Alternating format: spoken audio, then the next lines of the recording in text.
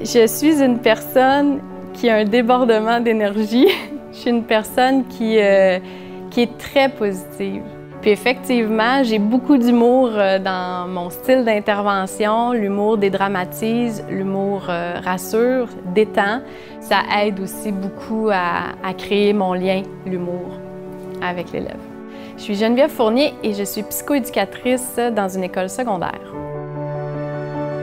Actuellement, je travaille avec les élèves euh, de secondaire 3, 4 et 5 au deuxième cycle du secondaire. Ce sont des élèves qui sont en train de préparer leur sortie. Des fois, les élèves, ils voient ça comme une montagne, mais euh, à travers la, la relation d'aide, on va aller travailler avec l'élève pour que ce sommet de montagne-là devienne si beau puis si merveilleux qu'on ait confiance en lui pour qu'il réussisse.